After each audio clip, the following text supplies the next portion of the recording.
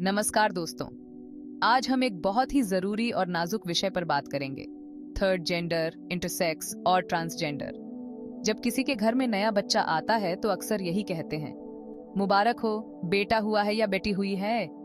लेकिन क्या आपने कभी सुना है, मुबारक हो, आपके घर में इंटरसेक्स पैदा हुआ है?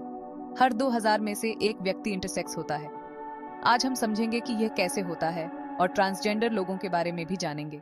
क्रोमोसोम्स क्या है? हमारा शरीर लाखों कोशिकाओं से बना है और हर कोशिका के अंदर एक न्यूक्लियस होता है, जो कि उसका कंट्रोल रूम होता है। न्यूक्लियस में धागे जैसे क्रोमोसोम होते हैं, जिनमें हमारे जीन्स होते हैं। क्रोमोसोम्स के तेईस जोड़े होते हैं। इनमें से बाईस जोड़े एक जैसे होते हैं, लेकिन तेईसवां जोड़ा तय करता है कि बच्चा लड़का होगा या लड़की। ये एक्स एक्स लड़की या एक्स वाई लड़का हो सकता है। अब बात करते हैं इंटरसेक्स की। ये चार चीज़ों पर निर्भर करता है।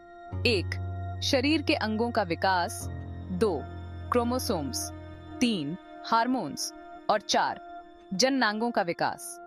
कभी कभी शरीर में अंगों का विकास ठीक से नहीं हो पाता है।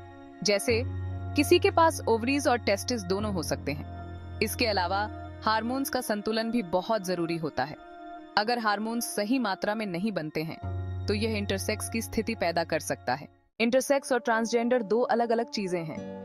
ट्रांसजेंडर वो लोग होते हैं जिन्हें लगता है कि वो उस लिंग से अलग हैं जो उन्हें जन्म के समय बताया गया था।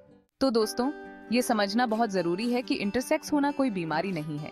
यह एक तरह की अलग बात है जो कुदरती होती है।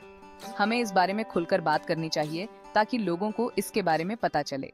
अगर आपको हमारा वीडियो पसंद आया हो तो लाइक और सब्सक्राइब करना न भूलें। अगली बार फिर मिलेंगे एक नई जानकारी के साथ। तब तक के लिए, नमस्कार!